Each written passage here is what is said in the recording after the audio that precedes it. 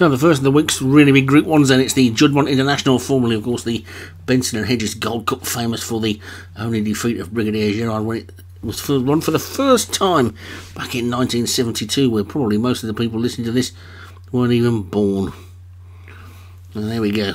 anyway, 10 furlongs, Group 1.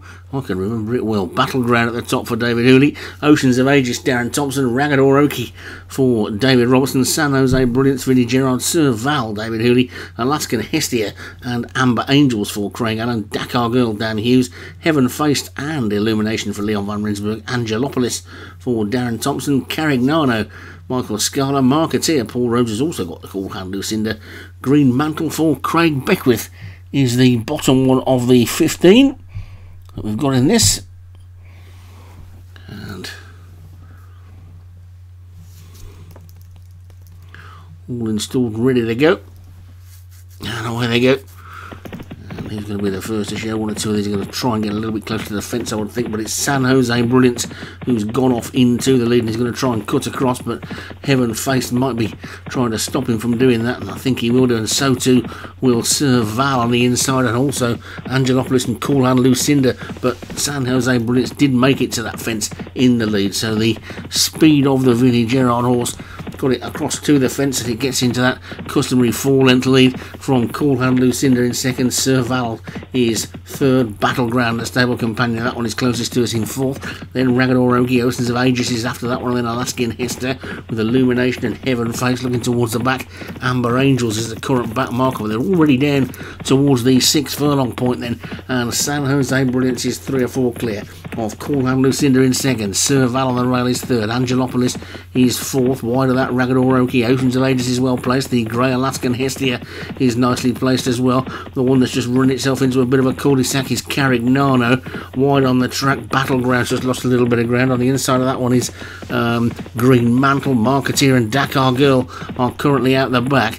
But it's San Jose Brilliance who leads. But now at the centre of the track, Ragador Oki's come through to try and challenge. And Ragador Oki, now look at this Carignano. It got a split and it's gone ahead. Cool Hand Lucinda's also got out as well. So too's Heaven Faced Illumination now come round the outside and suddenly it's wide open this. The big long straight at York. And it's San Jose Brilliance who's in the lead. From in second place, Heaven Faced. Alaskan Hestia is next. Then comes Carignano, Illumination. Cool Hand Lucinda He's still trying to stick on, but they've got to get past this.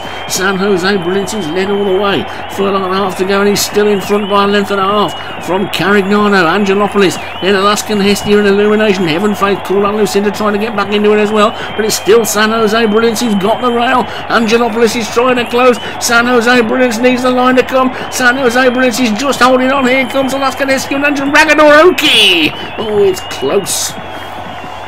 It's close on the line. Ragador Oki, Alaskan Hestia, they were all closing on the Vinnie Gerard horse on the rail who's maybe not held on.